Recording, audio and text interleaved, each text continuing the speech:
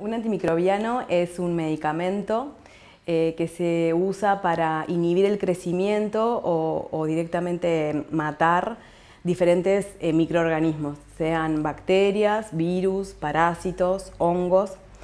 Eh, y uno tiene eh, dentro de, esos cuatro microorganismos subtipos de antimicrobianos, de, que los que más conocemos son los antibióticos. ¿no?